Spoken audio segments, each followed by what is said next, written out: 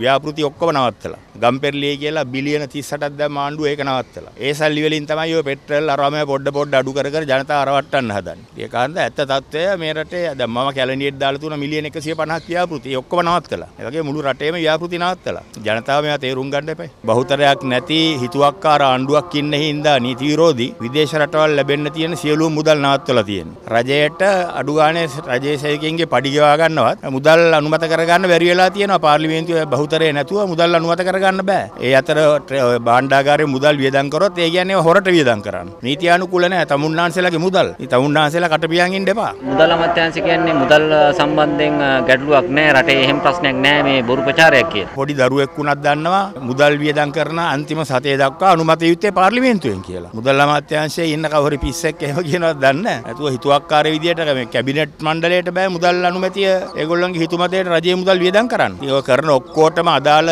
රජයේ නිලධාරීනුත් ඒවට සහභාගී වුණොත් ආධාරියෝ නිලධාරීන් ඔක්කොටම හිරගැවුල්ල ලගින්න සිද්ධ වෙනවා. මම දැන් වසන්ත සේනානායක එක්සත් ජාතික පක්ෂේ ඉඳලා ගියා ආණ්ඩුවට. ඒ වසන්ත සේනානායක තව ඉන්න ඒ වගේම අර නාවි ඉන්න කියලා. ඒගොල්ලෝ කියන්නේ ආණ්ඩුව තියෙන පැත්තේ අපි ඉන්නවා කියලා. ආණ්ඩුවත් එක්ක ඉන්නකොට ඉතින් ජනතාවට වැඩක් කරන්න නැතත් ආණ්ඩුව එල්ලීලා මොන හරි කරගන්න පුළුවන් නේ. ඒකයි ඒ. ඉතින් මන්ත්‍රීතුමා දැන් ආපෝ වසන්ත සේනානායක ආපෝ එක්සත් ජාතික පක්ෂය આવත් ඔබතුමාලා එයා එන්න හැදුවා අපි බාරගත්තේ නැහැ. සේනානායක වුණාට දැන් එපා UNP එකට. UNP එක පාවා දීලා තියන්නේ යාද. අපි ඉන්න කන්න එක්සත් ජාතික පක්ෂේ බාර ගන්න. එයා આવොත් අපි යනවා. අපි එළියට දාලා තමයි එයා ගන්න වෙන්නේ.